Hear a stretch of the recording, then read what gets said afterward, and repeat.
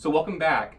Uh, this test, we're going to be doing a constant load respiratory muscle endurance test. So again, I have Melissa here as our mock patient. We did a little bit of familiarization before this test. Again, similar to every test, you want to make sure you have enough time to go through the instructions with your patient.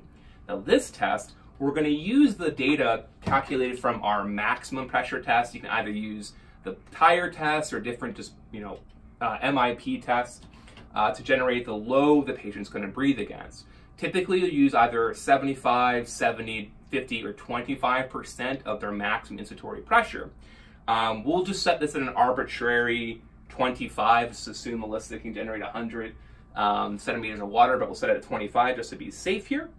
Um, you can either ratchet this down or ratchet it up to increase the pressure threshold. Now, um, every breath that Melissa generates sufficient pressure, the valve in this device will open to allow air to flow in. Okay, so that's the load she's breathing against each breath.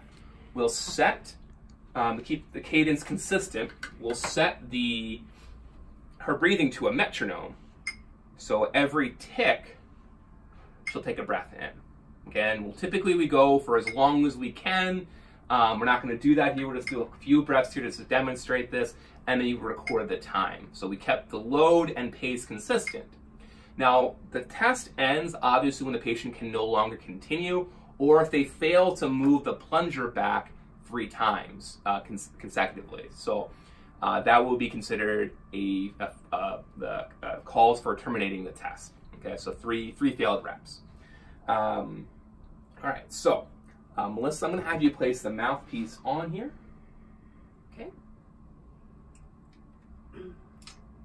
Okay, all right, good. And I'm just going to get you used to kind of breathing with the uh, uh, the metronome here. Well, before breathing against that, just get kind of used to breathing. Oh.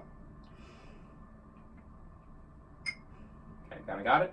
Yep. Okay, so I'm going to have you clip your nose just like the last test. Okay, I'm going to set my timer. I'm going to leave the metronome here so you can see.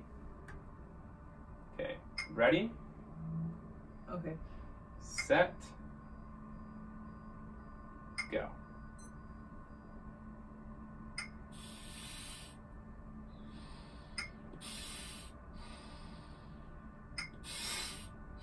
And I'm watching to see the valve move back each time.